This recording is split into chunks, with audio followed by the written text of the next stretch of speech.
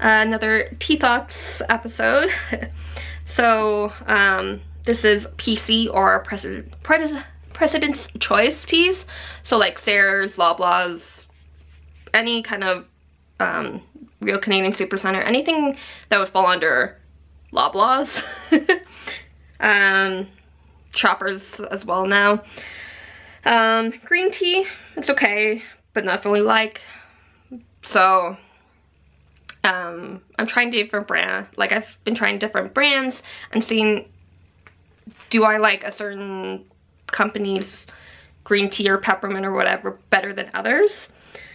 Um, the PC one, I would, if I had to choose a brand for green tea, PC would likely be the one I'd likely go for more. Um, the chocolate chocolatey mint blend.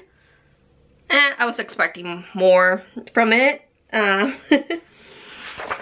um, okay, I thought I had more from PC.